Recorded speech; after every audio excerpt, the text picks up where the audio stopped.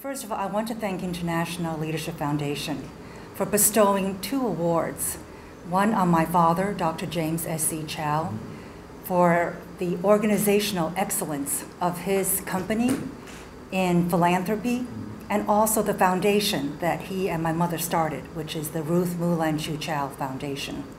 It's the Zhao Zhu Mulan Jijinhui. Mm-hmm. And secondly, I'm here on behalf of my sister, Angela Chao, Zhao Anji. She's being uh, awarded and recognized for the Inspirational Leader Award. She is a young leader, uh, a pioneer in her own generation. She's very accomplished, and she is in mainstream America. And yet she's always thinking about Asian Americans, Chinese Americans, and how to advance the interest of Chinese Americans in mainstream America.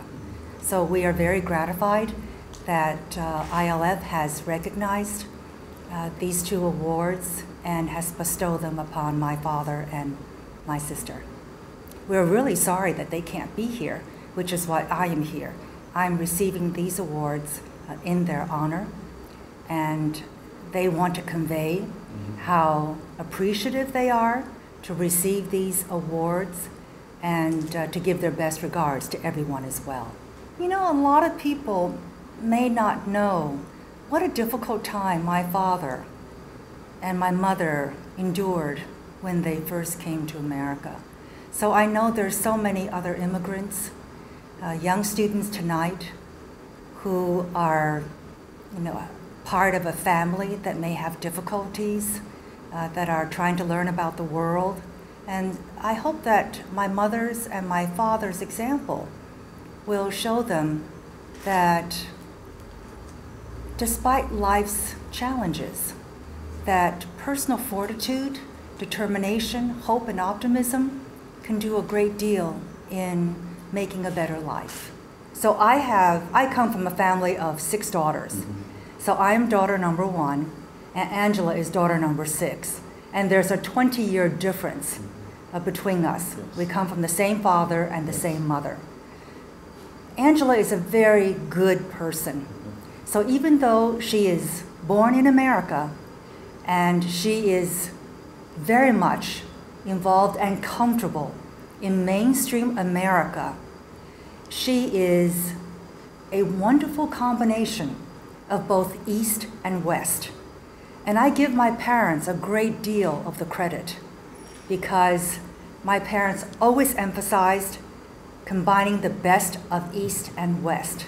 So when we grew up, I don't think we had any conflicts. Mm-hmm. My parents always said, you don't have to separate the two, East and West. Your job is to integrate and take the best yes. from East and West. And I think that's a wonderfully wise philosophy that made us more successful in maneuvering the challenges of a multicultural environment. So there was no conflict. In fact, if anything, you know, we wanted to take the best from both worlds and integrate the best. So uh, she's a very good person. She actually understands a great deal of Chinese philosophical thinking, which is very unusual for someone who was born here and raised here all her life. And she, of course, speaks Chinese as well. And she's very, in, uh, Angela is very interested uh-huh. in um, US China relations.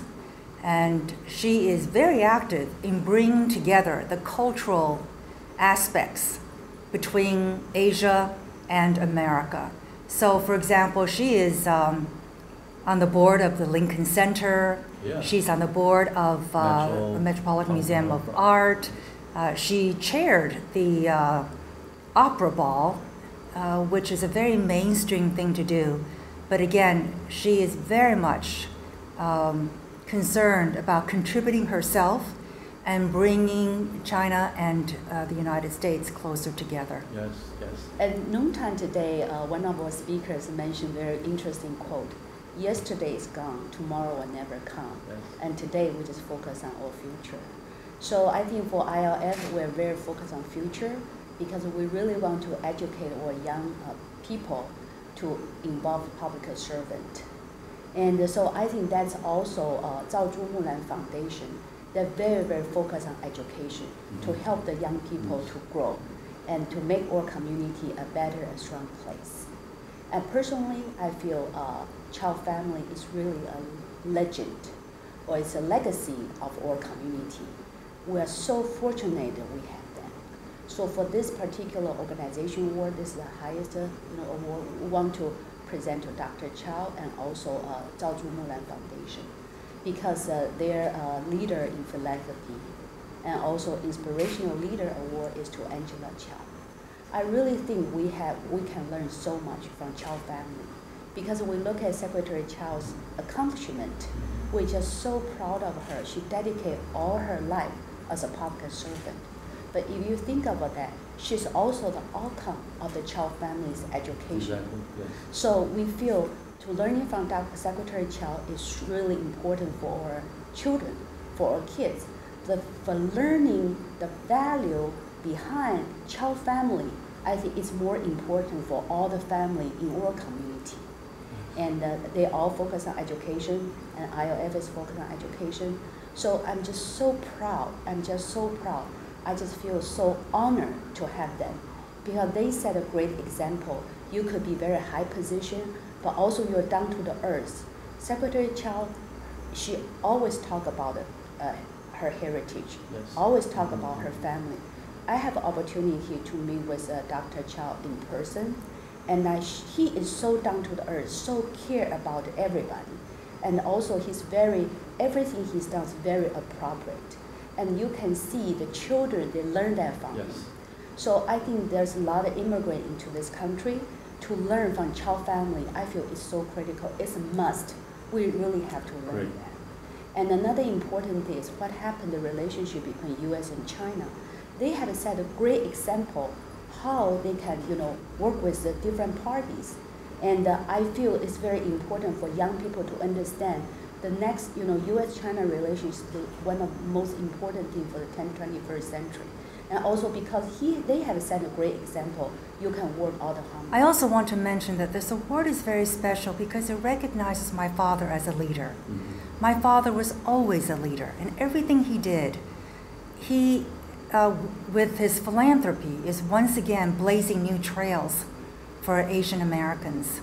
You know, most Asian Americans are not active in philanthropy, and yet it is such a mainstream activity for America. Mhm. And so my father, in his philanthropic giving, is trying to lift the image of Chinese Americans here in America and to demonstrate that we are a contributing member of America mainstream and also to facilitate the assimilation of Asian Americans, you know, into mainstream America. Mhm. So my father's gift, you know, at Harvard is very special. It's the first building ever named after um, someone with a Chinese surname. Yeah. It's the first building named after a woman on campus.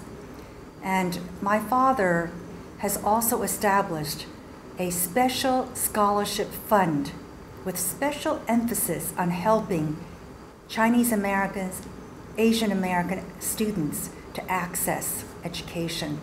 So his gift is not only to honor the memory and the legacy of my mother, but also to help other Asian Americans to integrate and to access opportunities in mainstream America. Yes.